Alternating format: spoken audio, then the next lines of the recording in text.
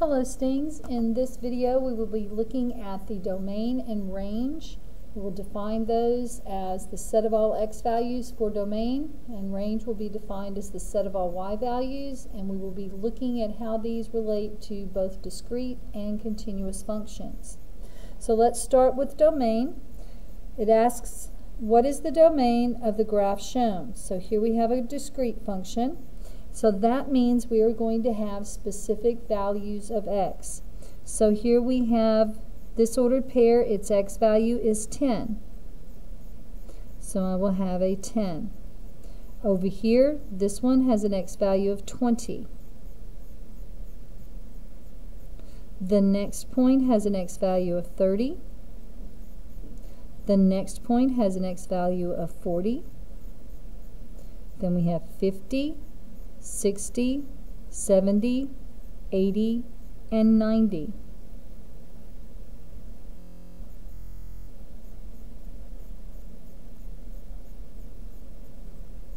Remember to signify a set by putting braces at both the beginning and the end. For our y values for the discrete function, we will have a specific list because we have specific points. Um, we'll be using 15 for these or some value of 5 that falls between the 10 and 20 or the um, 20 and 30. So we'll start here at this first point. We'll just start from the lowest and go to the highest. The first value we see here for the range, if we bring it across, that would be approximately 15. So we're just going to go with 5s and 10s. This next point as we go up is 25. This point as we go up is 30. This point as we go up is 40. Next point up is here at 50. After 50 we have two points that are at 55 but we only write it down one time. Then we go up to 60 and finally the last point up here is at a value of 70. Again, because it is a discrete function, you must show your set as a list of numbers, and we show that set by using braces. With a continuous function, we are looking at how far up and how far down the graph goes for the range, and we are looking at a domain of how far left and how far right, and we want all the numbers in between, so all those little decimals and fractions which means it's more than we can list.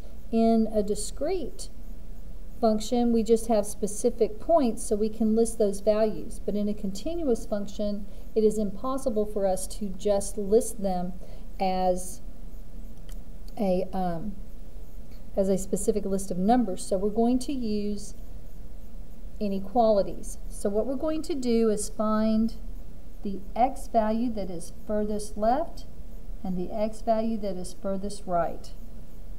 So this x value over here, the graph stops over here at 0, or we could say it starts at an x value of 0.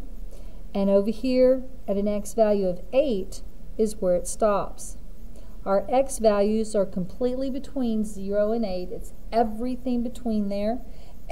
Well, I didn't put an x. I apologize fix that. Our x values are what go in the middle. So we have an x in the middle, every x value being between 0 and 8.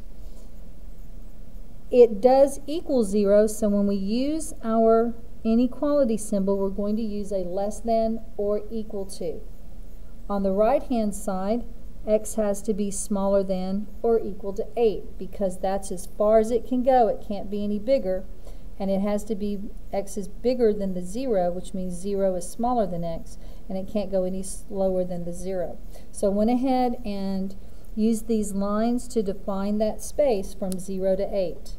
Now I'm going to do the same thing with the range. How low? Right here is as low as the range is going to go. And we don't look at a beginning point or an end point. We'll look at the totality of the graph how high does the graph go? It goes all the way up here. So I am limiting my graph to go from this point down here all the way up to here.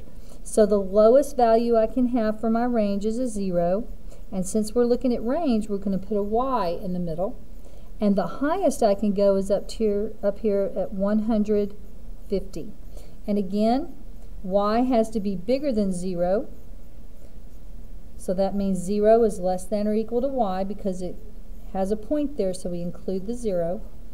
At the 150, the graph is dark right here. There's no open circles, so we include that 150.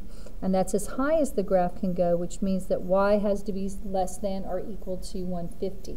So anytime you have specific points, you have specific numbers to list for your domain and range. Anytime you have a continuous graph, which means it's a curve or a line or another shape, then you're going to look at all of those points. So we need to use an inequality because it's impossible for us to completely list those. So here are our boundaries for our domain. Here are the boundaries for our range. And there they are as inequalities.